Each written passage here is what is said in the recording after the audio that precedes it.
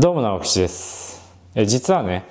3週間ぐらい前にまたまたねちょっとぎっくり腰をやってしまいましてそれでねあの増量期のねちょっと動画とかも出したかったんですけれども、えー、トレーニングの方がねこうなかなかあの回復しなくてできなくてでそうこうしてるうちに、えー、減量の方にねもうすでに入っちゃったのでまあここからはねこう今年の、えー、大会へ向けてまた、まあ、ちょくちょく動画の方をね撮っていきたいと思います。で今回のぎっくり腰の方なんですけれども、まあ、今までねぎっくり腰ってあのスクワットスクワットでしかやったことなかったんですけれども今回はねあの初めてデッドリフトでねちょっとやってしまいました。正直な話するとあの原因がねあの多分体重をねちょっと乗せすぎた本当だと大会からプラス8キロぐらいで抑えたかったのが気がついたらね10キロちょっと増えててであのレバーアクション式のねベルトをやった時点でものすごくねこうきつかったんですよね。で腹圧がかかりすぎててでファーストプルの時にあのうまくねこう多分持てなくてで無理やり上げちゃってぎっくり腰したって感じだったんですよね。まあ重量で言えばね160キロぐらいかな。うんそれでちょっとやってしまいました。で今回はねあのスクワットの時のぎっくりだともう2週間ぐらいで治ってたのが今3週間経とうとしてるんですけれども全く良くならなくてちょっとまだ痛いんですけれどもまあでもトレーニングもねあのちょくちょく、まあ、できるようになってきて今日はね、えー、足トレなんですけれどもまだねこう本格的にはやってなかったんですけれども今日からね、まあ、スクワットはちょっとねやらない方がいいなとは思ってるんですけれども、まあ、レッグプレスとか、まあ、その辺の方をこう試してみてやっていきたいと思います。それでね今年の最初の大会が7月なんですけれども、まあ、3456まあ、4ヶ月ちょっとはあるので、えーとですね、今回の減量幅がまあ約10キロぐらいかな。去年はね、まあ、増量できなかったので5キロぐらいだったんですけれども、今年はね、去年の倍、まあ、10キロぐらい、まあ、ちょっとね、8キロぐらいで抑えたかったんだけど、ちょっとね、予定通りにはいかなかったので、まあ、頑張ってね、落としていきたいと思います。で、早速ね、足トレ今からやりに行きたいと思います。直吉ブログ。ちょっとね、ストレッチの時点でね、ちょっとまだ痛い。まだ痛いっていうか結構痛い。ケツがね、痛いんですよね、ケツが。うん、あの、腰っていうよりね、こう、あの、中殿筋あたり、あの、お尻の、まあちょっとこう、上部あたりがね痛いんですよねこれが。ちょっと入念にストレッチしていきます。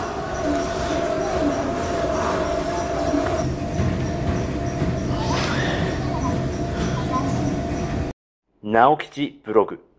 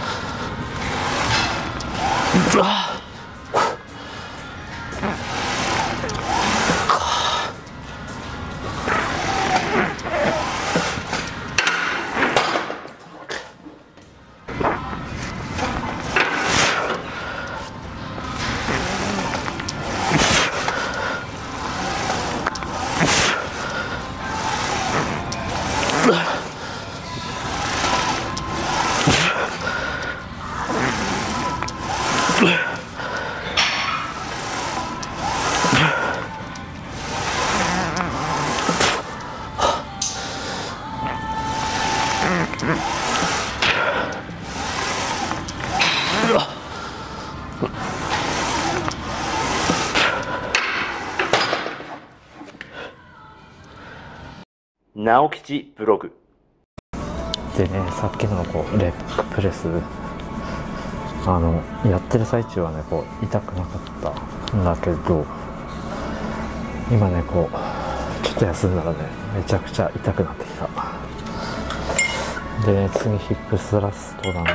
けどちょっととりあえず40キロで様子見てでちょっとね痛かったらね無理してやらないようにしよう。ちょっと試していきます。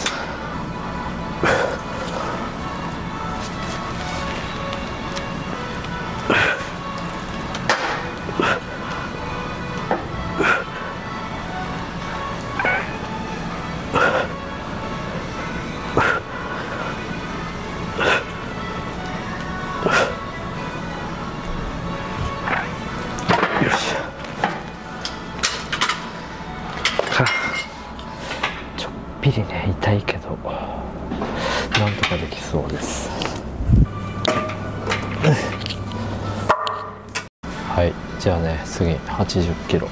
行ってみたいと思います。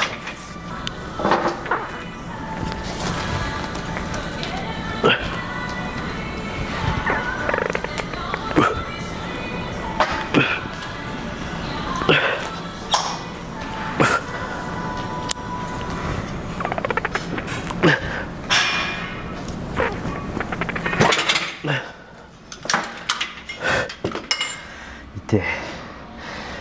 痛い今日はね。ちょっと80で痛かったんで今日80で無理せずあと2セットやっていきたいと思います。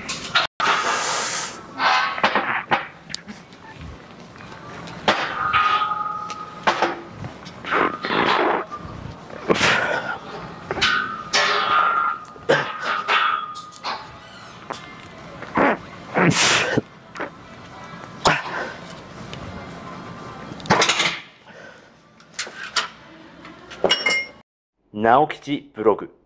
ちょっとねヒップスラストやったらねお尻がねめっちゃ痛くなったんで今日はねこう無理せずあとレッグカールちょっとやっていきたいと思います。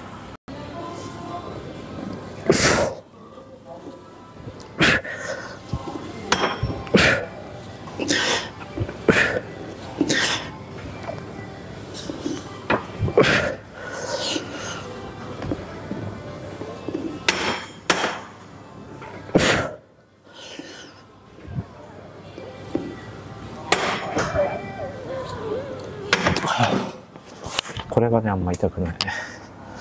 ちょっと3セットやっていきます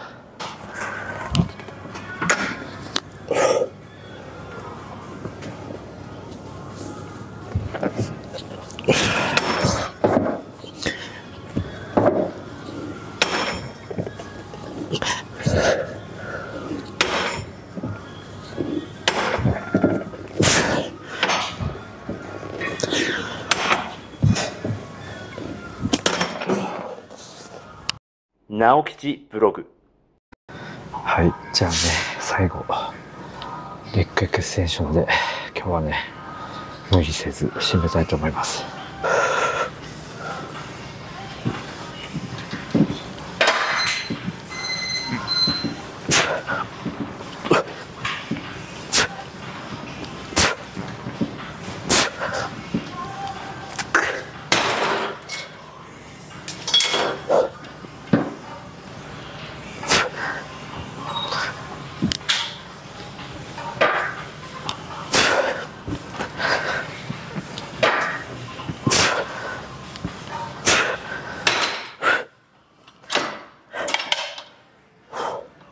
これはねあんまりお尻痛くないんで、えー、10セット。10セットやっていきます。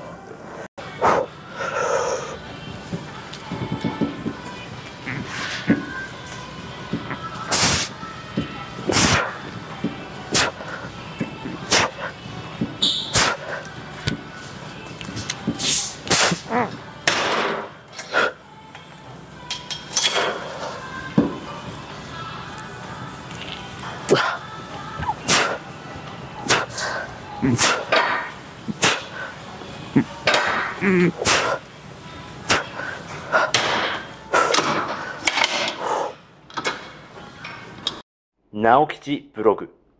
はい、えー今トレーニングの方終わりました。でね思った以上にね治りがね